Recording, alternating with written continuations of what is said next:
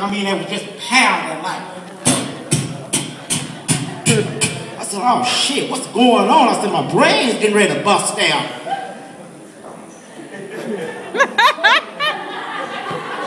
I couldn't believe it. I even called the, uh, my physician, my doctor, and started talking to my doctor. I said, something is going on with my brain. I don't know what it is. He said, what does it sound like? I said, it sounds like this.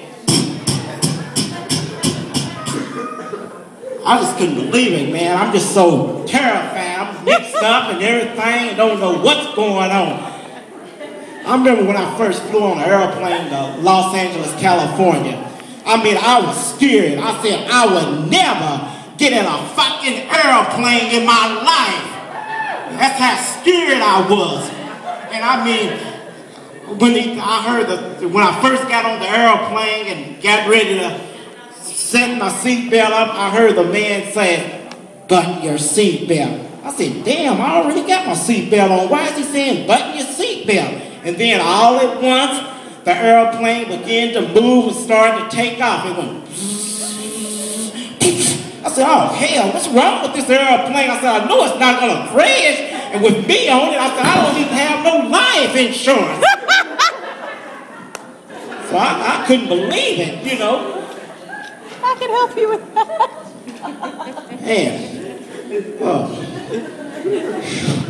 That's powerful. no, I'm all over it. When I first started coming to the show and stuff, my car was uh, messed up. You know, I didn't. I have to talk to my car like I talk to a woman. Any anytime my car cuts off, I have to say, "Baby, you can do it. You can do it," because I have a hoopty, and you know what a hoopty is. A hoopty is a car that's old. That's what a hoopty is. So I began to talk to her. I said, hey, baby, come on, come on, you can start up for me. I done, we done been through thick and thin and all at once. It starts up. And it, and it takes me wherever I got to go. But I love my hoopty. You know, I'm not going to get rid of my hoopty. It's just like a woman. You love your woman. You don't want to get rid of your woman.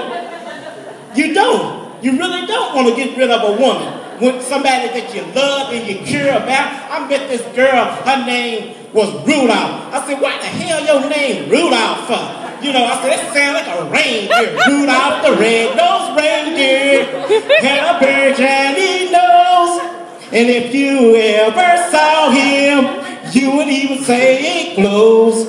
All of the other reindeers used to let him call him names. They never let poor Rudolph reindeer games. Woo! Thank you.